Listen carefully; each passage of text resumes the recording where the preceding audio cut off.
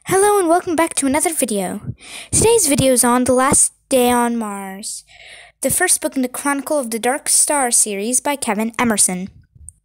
This is an awesome book. It's one of the most perfect science fiction books I've ever read. It has time travel, space travel, and alien races. Basically, the very definition of sci-fi.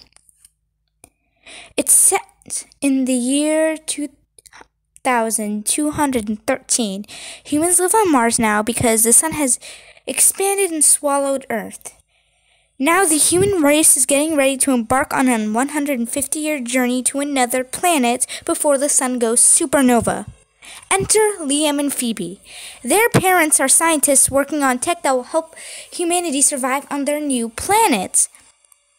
But then, instead of going to a solar storm shelter, Liam and Phoebe decide to watch a solar storm instead.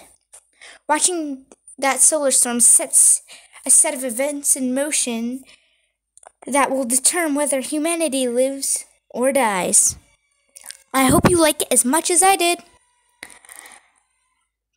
Be sure to like and subscribe. Bye!